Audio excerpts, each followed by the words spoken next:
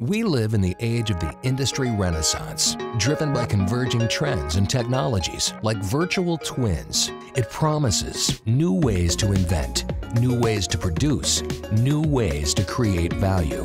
This dream will come true only for those who employ a skilled workforce.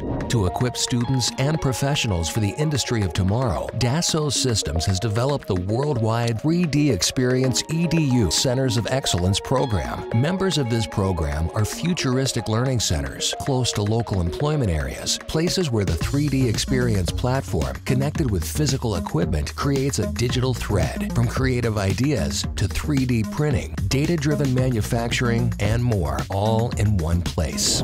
Where experiential learning combines theory and practice, knowledge and know-how. Where employers help define the curriculum, contribute to developing employable skills, and find the qualified workforce to drive their digital transformation.